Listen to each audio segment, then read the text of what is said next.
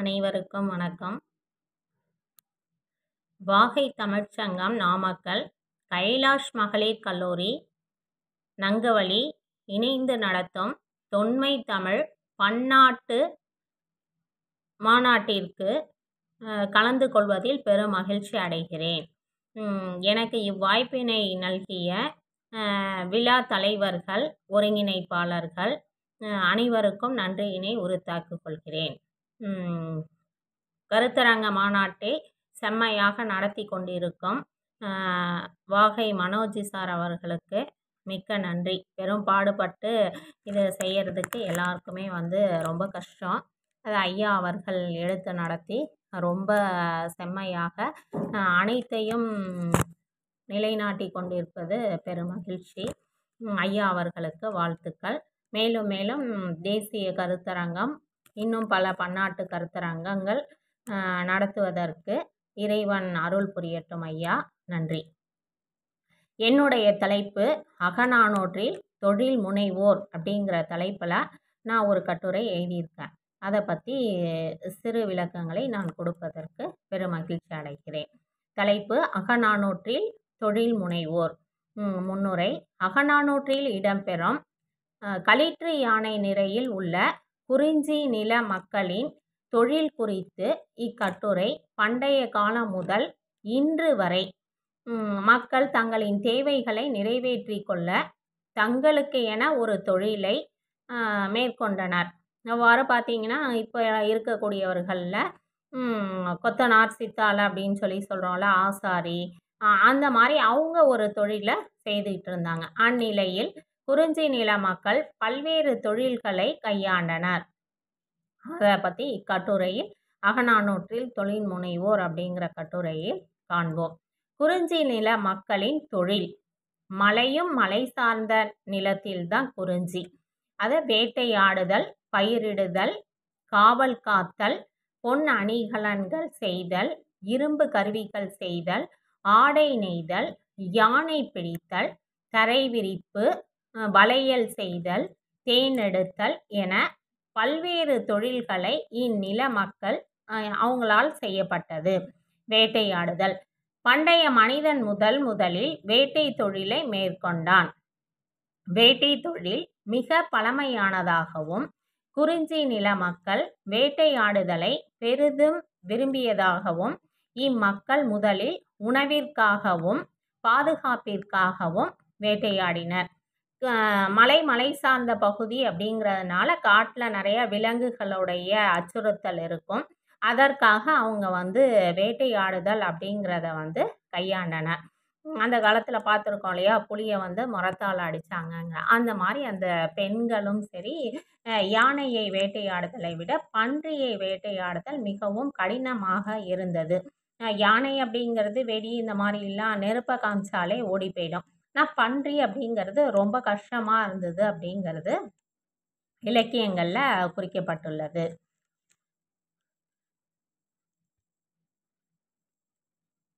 கடுக்கன் பன்றியின் நடுவான துணிந்து அப்படின்னு சொல்லிட்டு ஒரு பாடல் கொடுத்துருக்காங்க. மிகுந்த கோபம் கொண்ட பன்றி எதற்கும் அஞ்சாது. அத்தகைய பன்றியினை போல் வெள்ளமானது அஞ்சாமல் ஓடும். என்று கபிலர் குறிப்பிடுகிறார். கபிலருடைய பாடலில் இது இடம்பெற்றிருக்கு. கிளர்ந்த வேங்கை சேன் நடும் பொங்க பொன்னீர் புதுமலர் வேண்டிய குரமகள் அதாவது வேங்கை மலர் வந்து பறிக்கும் குரமகள் புலி புலி என்று ஆரவாரத்தினை எழுப்பினாள். வலிமை பொருந்திய புலி வந்துவிட்டதாக எண்ணி அதனை கொல்ல இடக்கைகளில் வில்லினை எடுத்துக்கொண்டு வேடர்கள் வந்திருந்தனர் ஆனால் அவ்விடத்தில் புலி இல்லை என்பதால் பக்கத்து ஊரில் வேட்டைக்காக காடுகளில் திரிந்தனர். காடு தேர் வேட்டத்து விளைவு இடம் பெறாது. அதாவது வேட்டுவர்கள் விலங்குகளை தேடி அழைக்கின்ற போது உறங்குவதற்கு இடமில்லாமல் புலி தோளினை விரித்து அதன் மேல் படுத்து வந்திருக்கிறார்கள் அப்போ புலி எவ்வளோ வேட்டையாடிருப்பாங்க அந்த புலி தோலை எடுத்து தரையில் விரிப்பாக பயன்படுத்தினாங்க அப்படிங்கிறது குறிப்பிடத்தக்கது வரிநுதல் யானை அருநிறத்தழுத்தி இகழாடு முன்பின் வெண்கோடு கொண்டு. அம்பினை எய்திய விலங்குகளை வீழ்த்துகின்ற வேட்டுவரின் இரு கைகளும் இரும்பு போன்று இருக்கும். வேட்டுவர் யானையை கொன்று அதனுடைய தந்தங்களை கவர்ந்தனர். யானையை வந்து அந்த தந்தத்துக்காக இது பண்ணி யானையோட தந்தத்தை கவர்ந்து வருவாங்க. யானையின் தந்தம் தங்களது குடிசையில் அழகிற்காகவும் நடுவது இவர்களின் வழக்கமாக இருந்தது. நம்ம பார்த்தீங்க அப்படின்னு சொன்னால் வாழை மரம் வாசலில் வைக்கிறது அழகுக்காக அப்படின்னு சொல்லிட்டுலாம் வைப்போம். ஏதாவது பொம்மை அந்த மாதிரி வைப்போம். ஆனால் அந்த காலத்தில் பாருங்க யானையினுடைய தந்தத்தை வீட்டு வாசலில் வந்து ஒரு அழகுக்காக அப்போ எதனால் அப்படின்னு சொன்னால் அவங்களுடைய வீரம் அப்படிங்கிறது எப்படி வெளிப்படுது?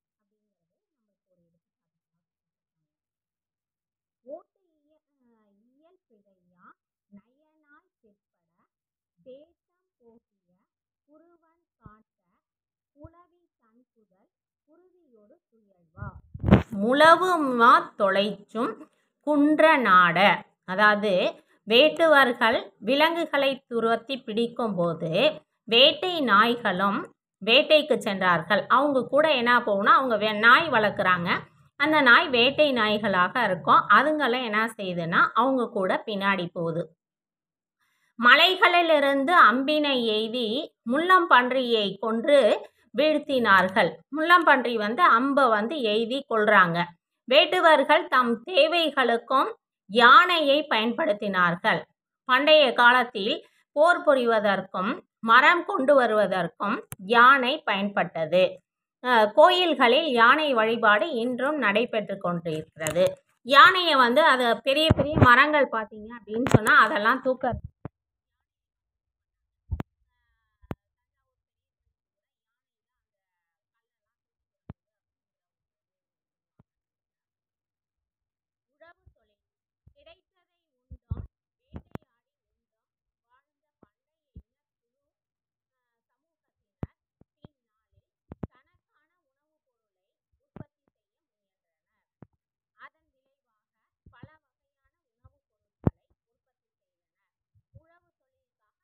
மக்கள் தேவையானதை வந்து நிறையா உற்பத்தி செய்து தொழிலை மேற்கொண்டார்கள். விளைநிலம் உருவாக்கல். விளைநிலம் உருவாக்கல் குறித்து அகநானூற்று நூற்றி நாற்பதாவது பாடல் நம்மளுக்கு சுட்டுகிறது இவை இதை முயல் புனவன் புகழ் நிழல் கடுக்கும் மாமூர் தள்ளல் அமுத்திய சாக்காட்டும்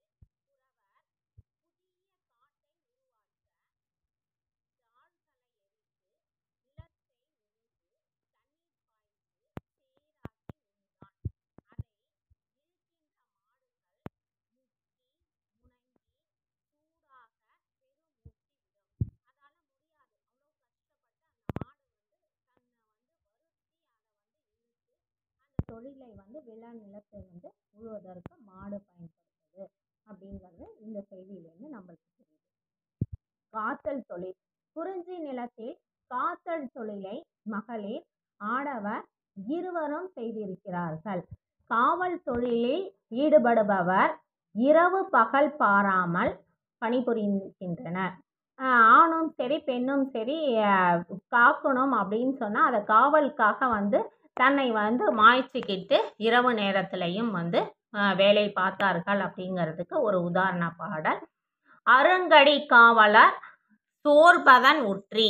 காவலர்கள் இரவு நேரத்தில் யாரும் அவர்களை மீறி செல்லாதவாறு காவல் தொழிலை செய் மேற்கொண்டனர். தூங்காமல் கொள்ளாமல் இரவு நேரத்தில் அந்த காவல் தொழிலை செய்தார்கள். அவர்களை மீறி யாருமே வந்து வெளியில் போக மாட்டாங்க அப்படிங்கிறது ஒரு சிறப்பான ஒரு செய்தி. மகளிர் திணைப்புணம் காத்தல் தொழிலினை செய்தனர். இன்றும் கோதுமை அரிசியினை பறவைகள் உண்ண வரும்போது அவற்றை வேட்டையாடுவது உண்டு. பூங்கெழு தொடலை நுடங்க எழுந்து எழுந்து கிள்ளை தென் விழி இடை இடை பயிற்றி அப்படின்னு சொல்லிட்டு ஒரு பாடல். திணை புணத்தினை கிளிகள் உண்ண வரும். அக்கிளிகளை விரட்டும் போது இடையிடையே ஓசையை பல காலம் எழுப்பி காத்தல் பணியை செய்கின்றனர். நிறைய பாட்டு பாடியா சூ சூன்னு சொல்லிலாம் சொல்லுவாங்கள்ல அந்த மாதிரி ஓசையினை எழுப்பி உருவாக்குனாங்க. குருவை பன்றி வருதிரம் நோக்கி காவற்பரன் மீது காவலன் ஏறி நின்ற கதிர்களை உண்ண வரும் பன்றியினை விரட்ட விளக்கினை ஏற்றி விரட்டினார்கள். தீப்பந்தம் காமிச்சு அந்த பன்றியினை வந்து விரட்டுவதாகவும் செய்தார்கள். கிளி கடி கருவிகள் தழல் குளிர் தட்டை என்பன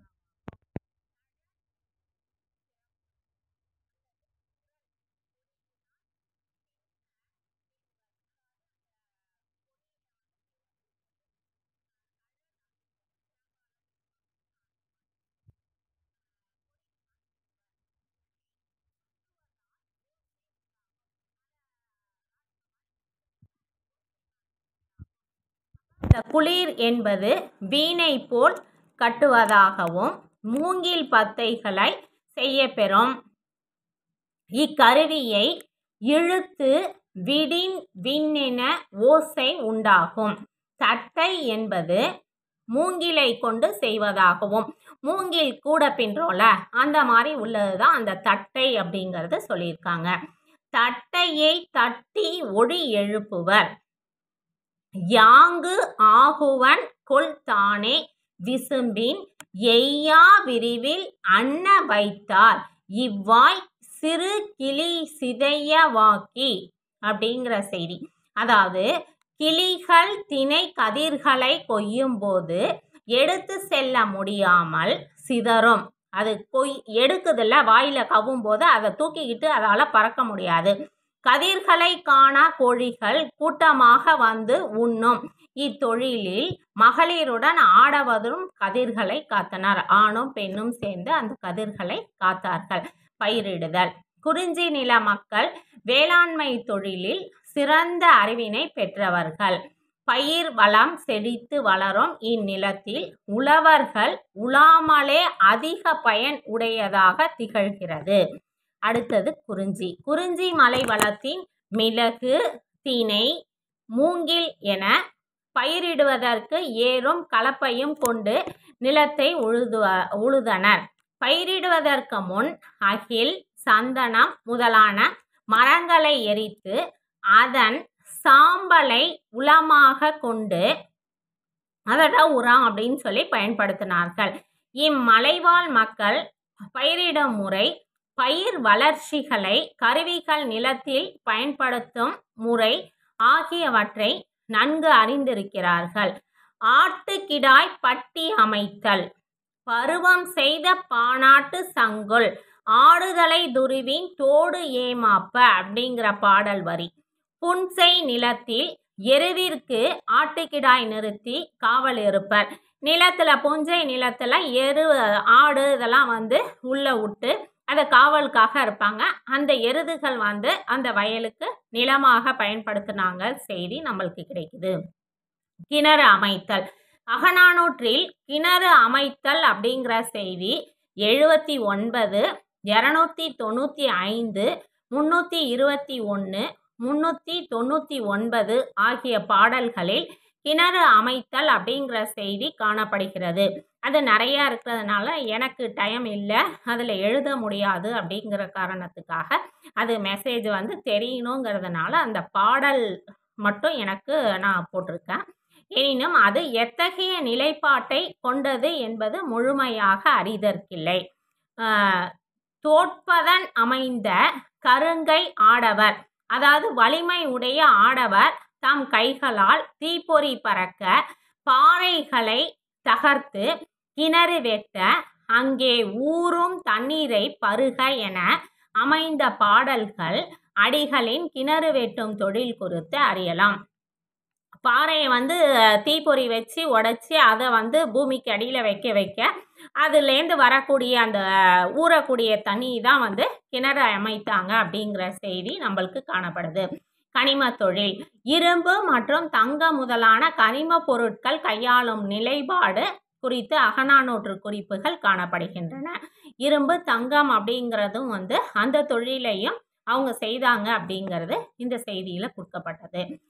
மண்பாண்டங்கள் குழு சூளை. மலை மறைய வெண்மேகம் சூழ்ந்து மட்களம் கடு சுடுகின்றன.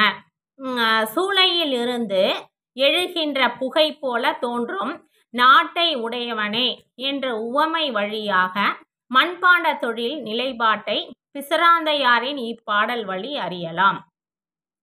இட்டுகை நெடுஞ்சுவர் விட்டம் வீழ்த்தனே எனும் பாடல் வரி செங்கல் பயன்பாடு குறித்து அறிய முடிகிறது. அவங்க செங்கல்லாம் நிறையா பயன்படுத்துனாங்கங்கிறது சூளை அமைச்சு அதை வந்து செய்தாங்க அப்படிங்கிறது இந்த பாடல் மூலயமா அறியப்படுகிறது. முடிவுரை. சமூக வாழ்க்கையை பிரதிபலிக்கும் விதமாக அமைந்த இலக்கியங்களாக பண்டைய தமிழ் இலக்கியங்கள் காண்கிறோம். அந்நாளை தமிழரின் வாழ்வியல் நிகழ்வுகள் மிக துல்லியமாக அகநானூற்று சுட்டுவதை இக்கட்டுரையின் வழி அறிய முடிகிறது. ஏற்றுமதி இறக்குமதி எனும் வணிக நிலைப்பாட்டையும் உணர முடிகிறது. அவர்களின் தொழில்சார் நடவடிக்கைகள் அன்று முதல் இன்று வரை வளர்ச்சி பெற்றுள்ளது என்பதை மகிழ்ச்சியுடன் அறிய முடிகிறது. அகநானூற்றில் தொழில் முனைவோர் எனும் என்னுடைய இச்சிறு கற்று கட்டுரையை ஏற்று எனக்கு வாய்ப்பு அளித்தமைக்கு வாகை தமிழ்ச்சங்கத்துக்கு மிக்க நன்றியினையும் வணக்கத்தினையும் உரித்தாக்கிக் கொள்கிறேன். வாழ்க வளமுடன். நன்றி வணக்கம்.